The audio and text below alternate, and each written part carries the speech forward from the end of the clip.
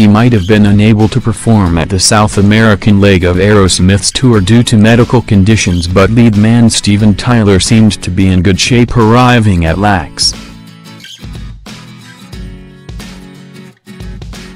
The 69-year-old singer dressed in his usual eccentric style, paired with goggle-style shades, as he departed on a flight at the Los Angeles airport with his 29-year-old rumored fiancée Aimee Preston.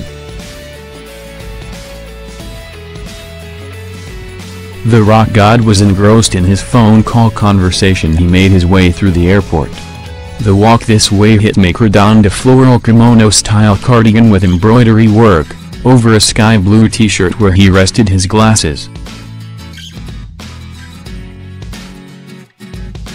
Keeping to his characteristic style, he covered his eyes in a bulky pair of black steampunk gothic sunglasses with retro welding. The spectacles had vintage vibes, and looked similar to doting rumored fiancée Aimee's, who was all smiles as she walked behind her older beau. He accessorized the ensemble with his usual beads around his wrist and neck, wearing a large necklace with a dark pendant encrusted in silver.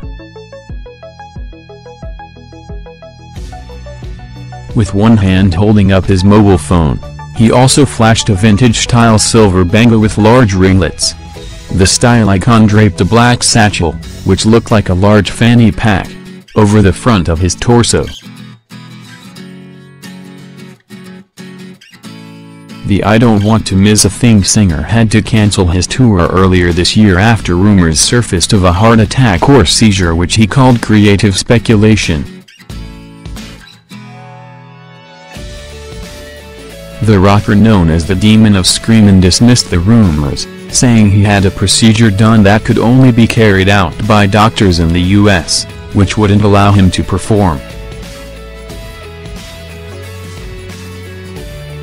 But that doesn't mean the American rock legend has been taking it easy at home. He shone a light on women's abuse in 1989 with the single Janie's Got a Gun and now Steven has opened Janie's House a shelter in Atlanta for teenagers and young women in need. Thanks for watching. Don't forget to like, comment your opinion, share this video and subscribe to my channel. New videos are uploaded every day.